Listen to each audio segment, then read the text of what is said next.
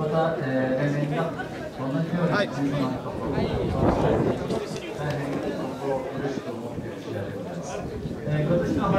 織祭、えー、準備段階ではいろいろありましたけど、例年通りに迎えることになりました。えー、そして、えー、皆様方に気をつけていただきたいことは、海岸、多分今、しけてると思います。そして、え、海岸清掃を県の渚事務所の方できれいにしていただきましたけれども、えー、台風で、えー、相模湖がやはりあの満水状態になってダムを放流しましたので現在すごい渚にはゴミが溜まっておりましてそれを清掃することができませんでした。波も荒かったのでえー、名元はだいぶその大きな波によってえぐられて深くなっております。したがってお願いすることは、えー、本来はハモリ祭は確かにみそぎでございますけども南郷の浜の潮風でみそぎをするということなんですね、えー、ところがどうしても皆様方入ってしまう、えー、しかし今年は特にそのように、えー、波が打ち返す辺は大変深くなっておりますのでぜひその点を気をつけていただいて、えー、まあ、渚を、まあ、横切るような形で行っていただければというふうに思います、えそして、え皆様と共に、えめでたく見合いができますよう、えー、ということを願っております。皆様方も大変お疲れになるかとかと思いますけども見合いまでぜひ皆様方、えー、お手伝いをよろしくお願いする次第でございます。よろしくどうぞお願いをいたします。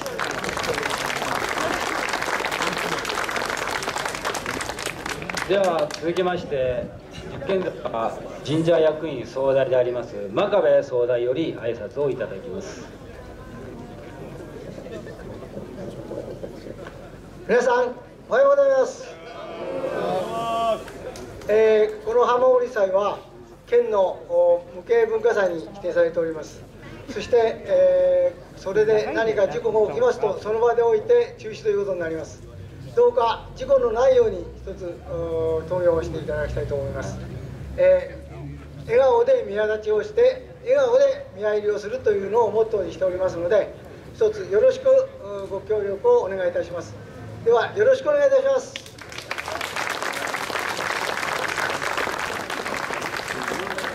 えー、続きまして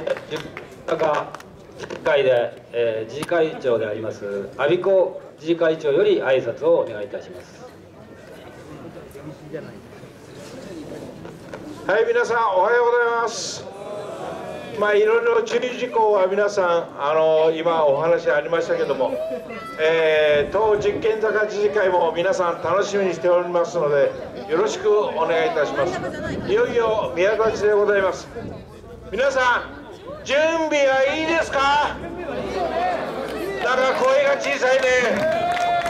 はい準備はいいですか？はいじゃあよろしくお願いいたします。えー、では次に